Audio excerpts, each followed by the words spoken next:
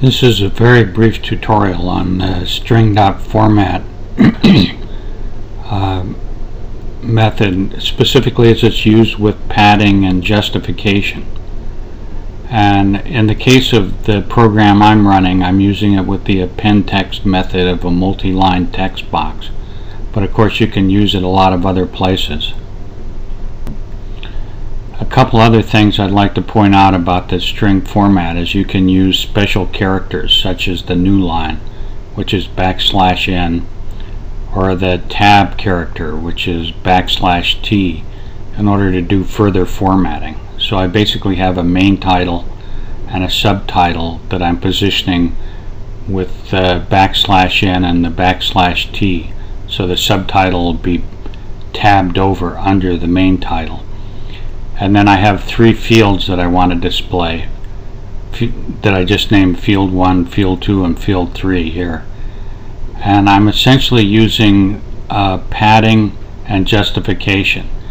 And normally with the string format uh, you have a colon to indicate a format like uh, 0.00 to indicate a dollar type format and things like that but with uh, padding and justification use a comma instead.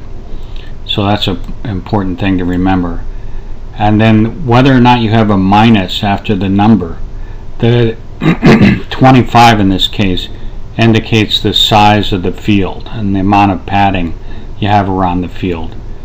And the minus indicates that it's left justified so right now I have three left justified fields with the values from these three string values.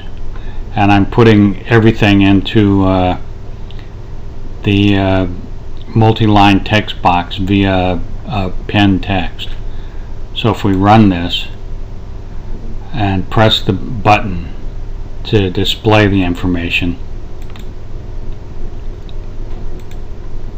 you see we see the main title then a tab over to the subtitle and then we have spaced out fields that are all left justified so they're nicely separated from each other.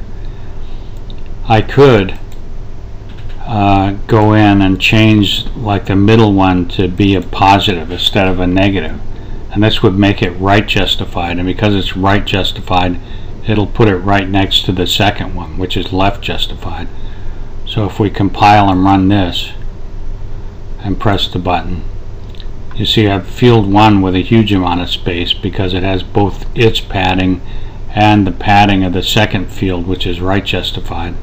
And then you have field 2 and field 3 right next to each other because field 2 is right justified and field 3 is left justified. Well, I'm actually building up to a main tutorial on uh, directory info and file info but I think a lot of these formatting things are really important. In fact, I think in some cases, depending on your project, they may be more important than the directory info and the file info. So I thought I'd do probably one to three tutorials just talking about the formatting I'm used, using. I hope you enjoyed this tutorial and uh, learned a lot. And don't forget to subscribe.